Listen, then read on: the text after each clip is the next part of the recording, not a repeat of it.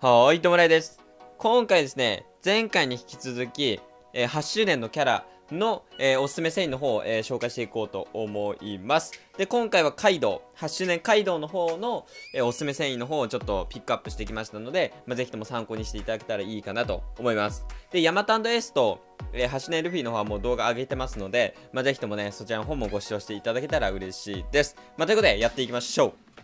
まあ、まずですね、えー、専用を、えー、紹介する前に、まあ、カイドウの方をちょっとおさらいしていこうかなと思います。えー、まずカイドウの必殺技がですね、えー、そうですね、こんな感じで、まあ、2ターン内だ、一部の力スロットがバスロットになりますよっていうね、結構強いですね。で、まあ、あと1ターン内で非ダメージ上昇中に与えるダメージが2倍になったりだとか、まあ、ダトツと強靭のスロット影響を2.75倍になりますよというものですね。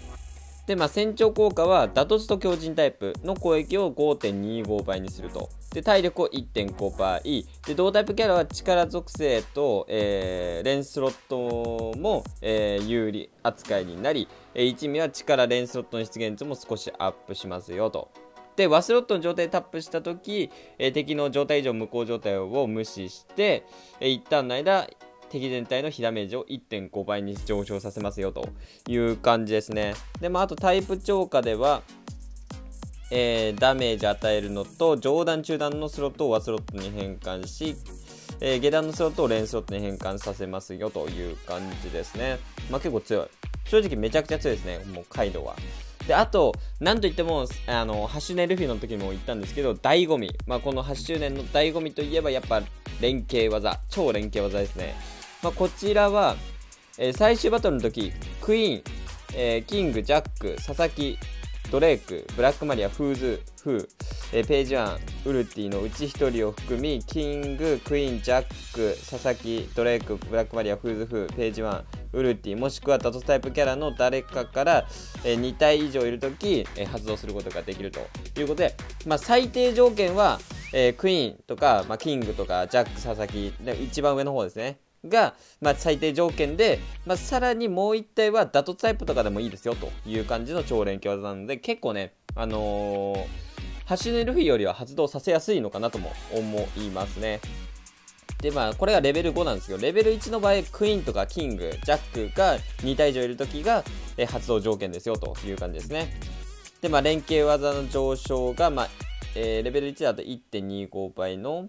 えー、火ダメ上昇効果がプラス0.25。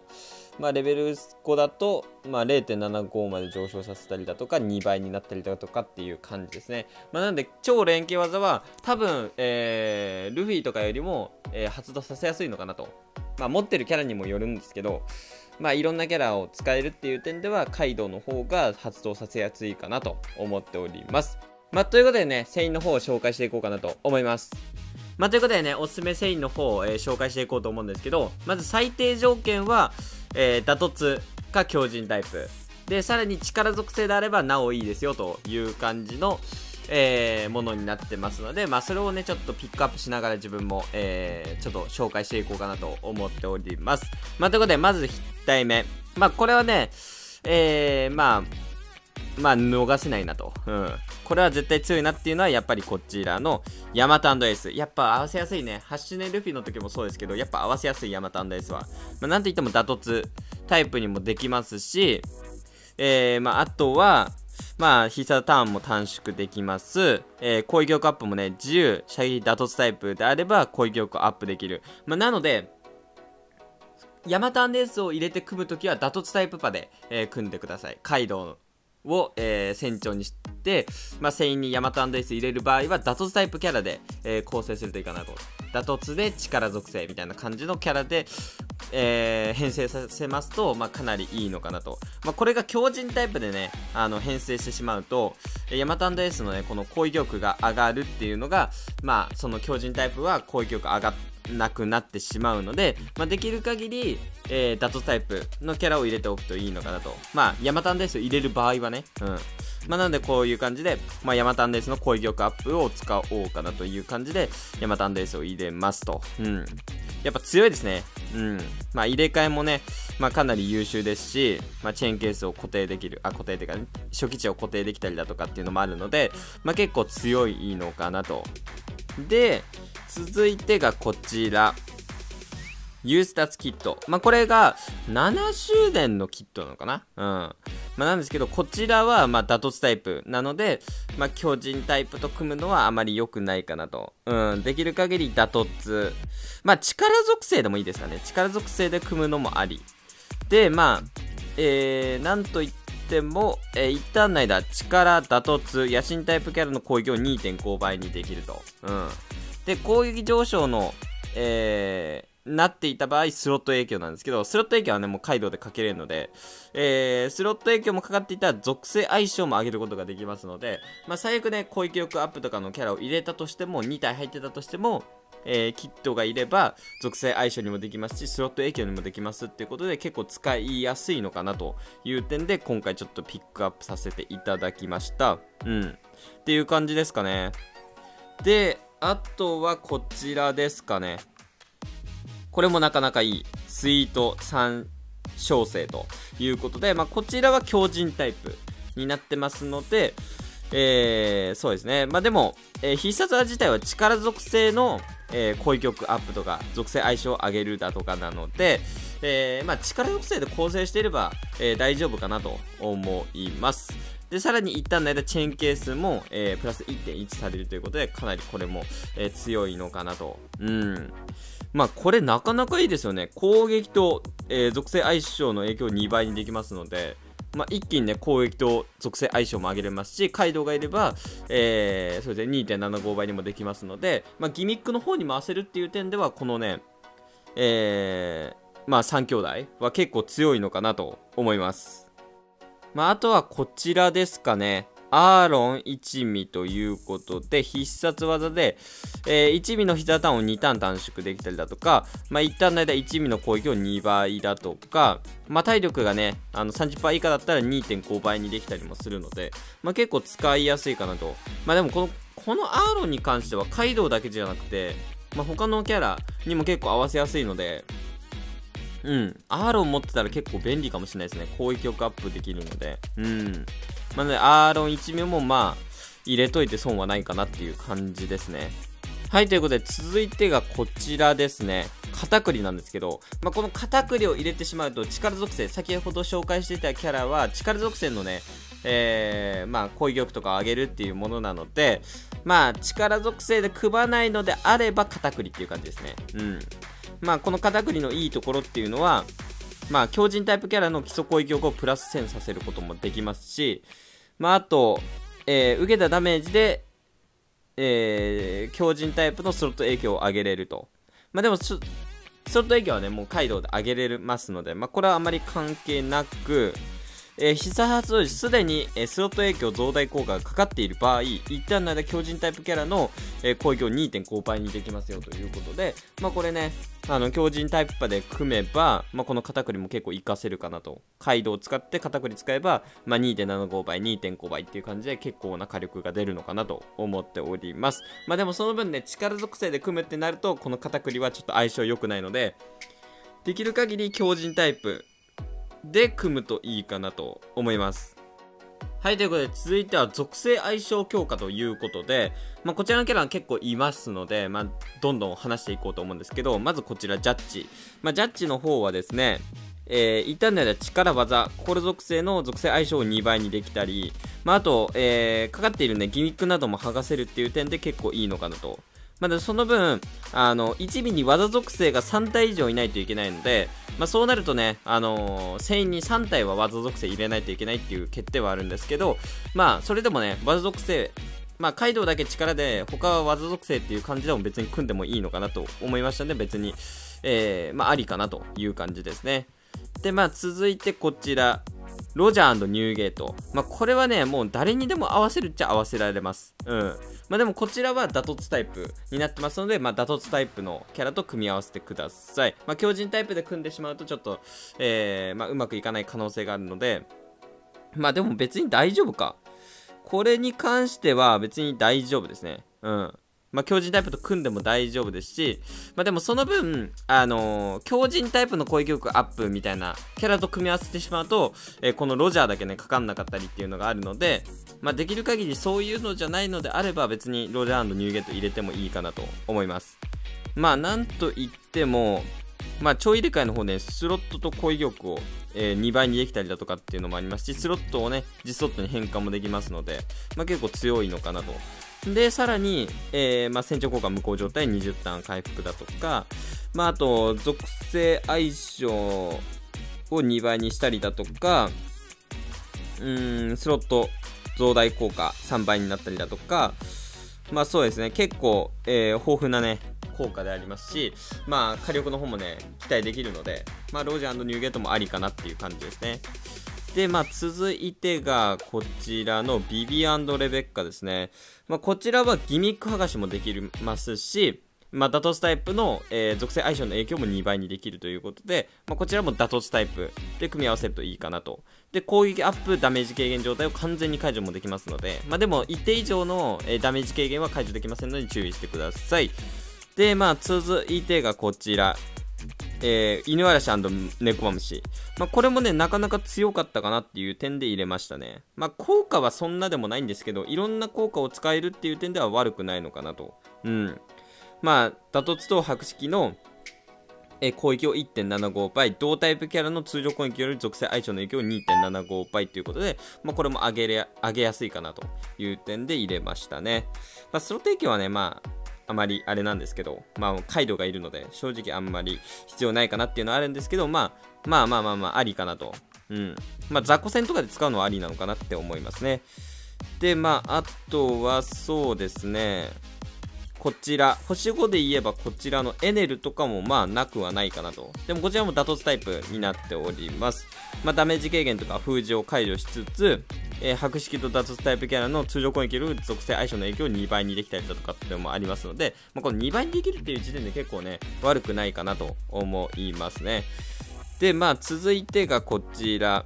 えー、マルコ。もうこのマルコもなかなか、えー、優秀だったんで、でもこちらは強靭タイプです。うん、打突ではなく強靭。えー、強靭タイプの、えー、属性相性による影響を2.5倍にできる。でも1秒の体力が50%以下でないといけないので、まあ、そこはちょっとね、えー、見ていただきたいなっていうのはあるんですけど、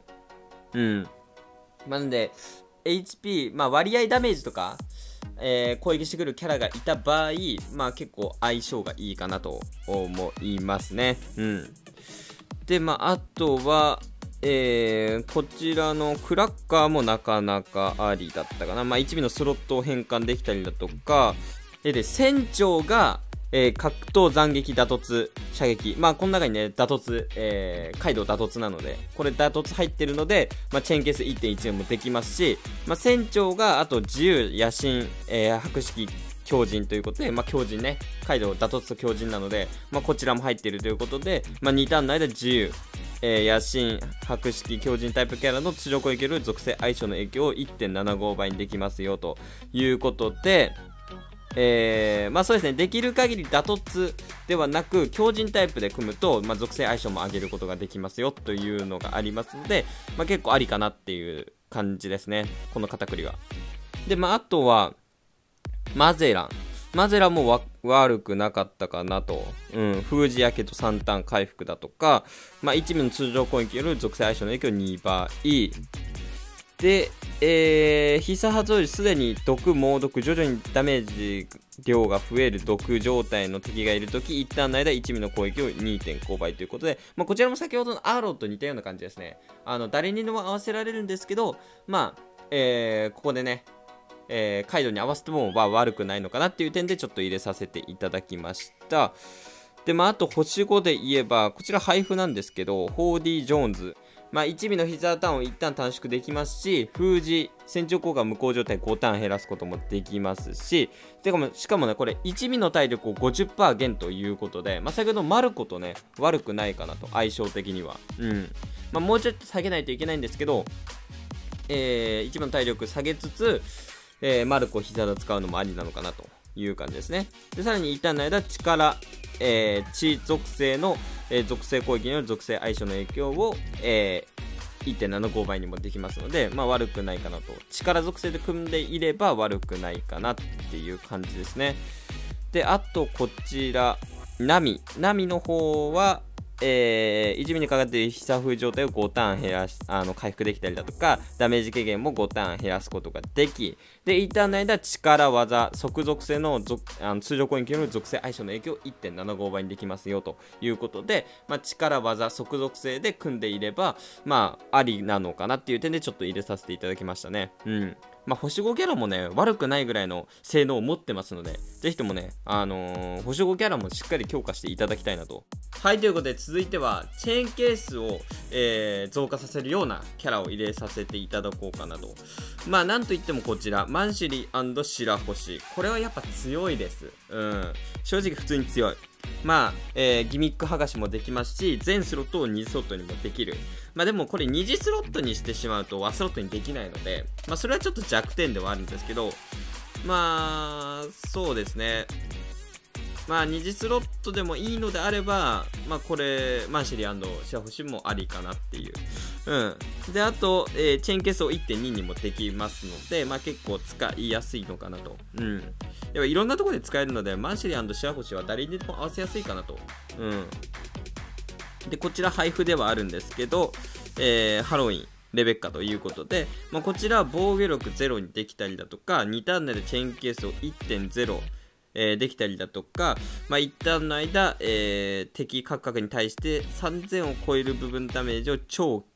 激減だとか、まあ、必殺技発動時、えー、体力が満タンの時2ターンの間防御力ダウン中に当たるダメージを1.75倍にできるということでま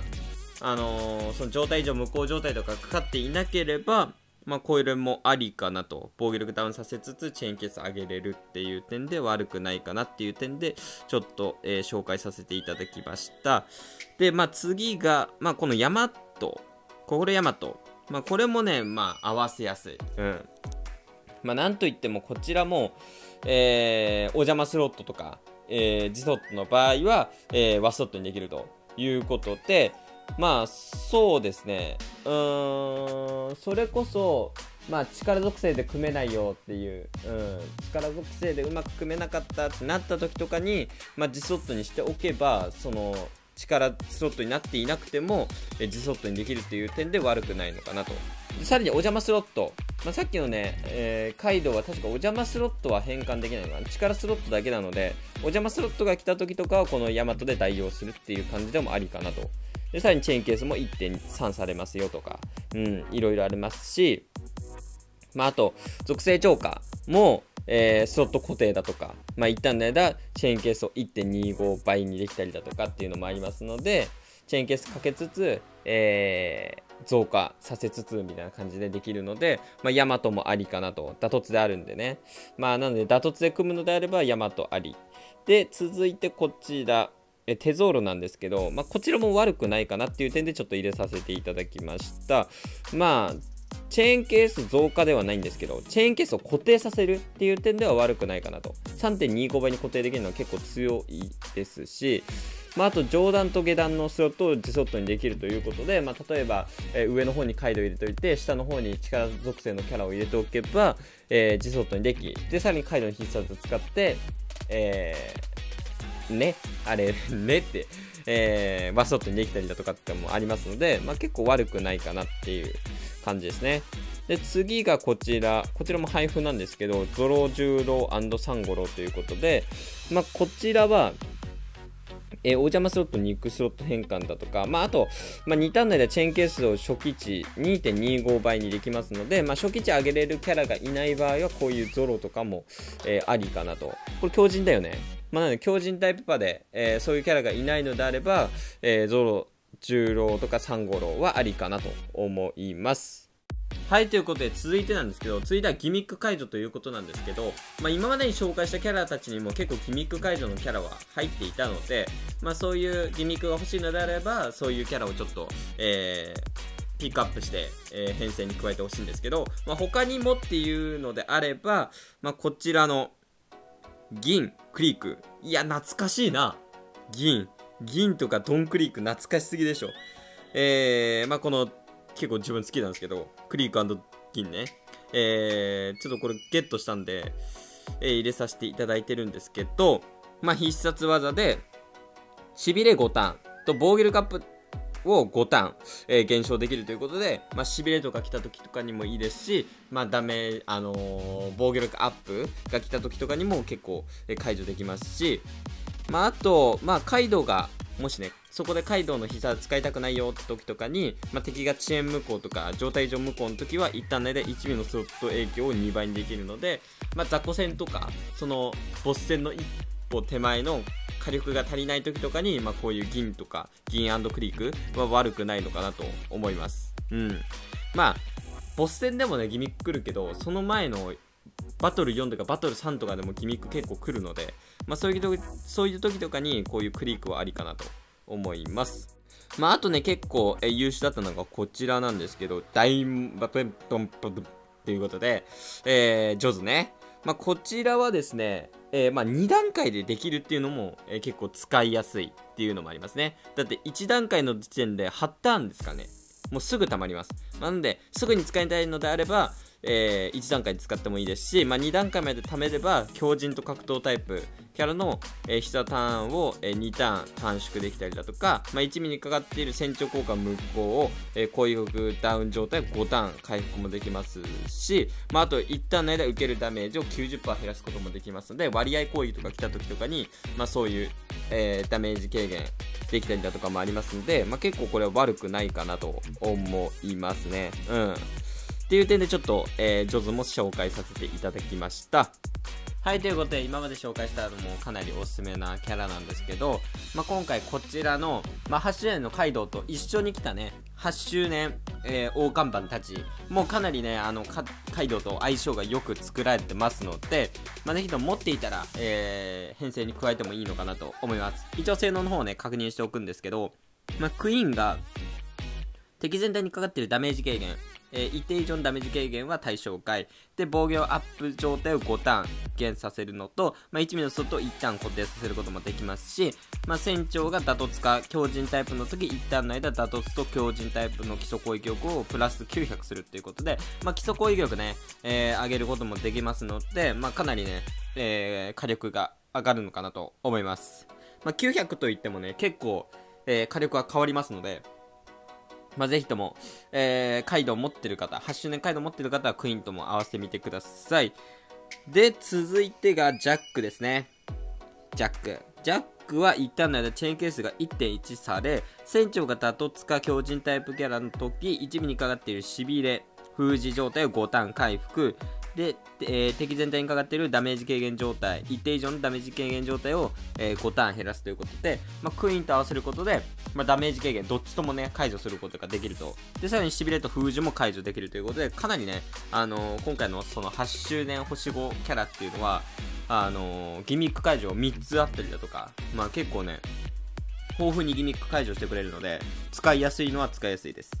で、最後はこちらのキングですね。キングは一旦内でダトツと強靭タイプキャラの攻撃を2.25倍にすることができ、で、船長がダトツか強靭タイプキャラの時、1ミリにかかっている船長効果無効、攻撃力ダウン、必殺技封状態を5ターン、えー、回復するということで、まあ、なんでクイーン、えー、クイーン、えー、ジャック、キング、まあ、全員いれば、ほとんどのギミックが解除できます。まあ、できないので出してみると、まあ、1タイル効果とかはないかな。まあ、あとはもう全部解除できんじゃないかなと。うん。っていうぐらい、あの、ギミック解除に向いているキャラたちなので、しかもね、それプラス、攻撃力アップだとか、え基礎攻撃力アップだとか、まあ、チェーンケース1.1だとか、っていうのがありますので、まあ、結構火力の面でもかなり、えー、補助っていうかね、えー、バフかけてくれますし、えー、ギミック解除もできるということで、まあ、8周年、えー、大看板たちはね、ぜひともゲットしたら、えー、カイドウと合わせて使ってみてください。はい、ということで今回ちょっとカイドウ、えー、8周年カイドウのおすすめ繊維の方をちょっと紹介させていただいたんですけど、まあ、今回ちょっと意識してほしいのは、力属性の、えー、編成にするのか、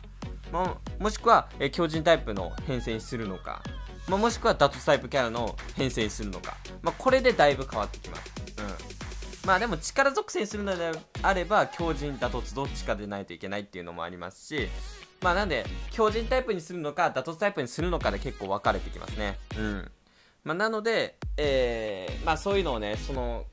効果を繊維の効果の必殺技を見つつダトツタイプで編成するのか、まあ、強靭タイプで編成するのかっていうのをちょっと決めていただきたいなと思っております。まあ、あとはそうですねギミック解除も必要ですしまあ、あと属性相性だとか、まあ、チェーンケース増加もありですし、まあ、固定させるのもありですし、えーまあ、上昇させるのもありっていう点で、まあ、いろいろ紹介させていただいたんですけど、まあ、あともう一つ、えー、持ってないキャラ、自分が持ってないキャラでおすすめなのは、やはり、えー、ハンコックナミロビン。まあ、これはね、あのー、譲れないかなと。このね、キャラはね、あのー、ヤマタンレースにも合わせやすいですし、まあ、正直、ハシネルフィの時ででも、まあ、えー、ハンコックナミロビンは、えー、固定で強いですし、まあ、街道と合わせるのでも悪くないっていう点で、まあ、ハンコックナミロビン持ってる方は、まあえー、関係なくねそういうの関係なくも入れちゃっていいのかなと思います。まあ、ということで、ちょっといろいろ紹介させていただいたので、まあ、皆さんもね、あの、少しでも参考になっていただければいいかなと思います。まあ、ということで、今回この辺で終わりたいと思います。ご視聴ありがとうございました。参考になったよって方は、チャンネル登録、高評価、よろしくお願いします。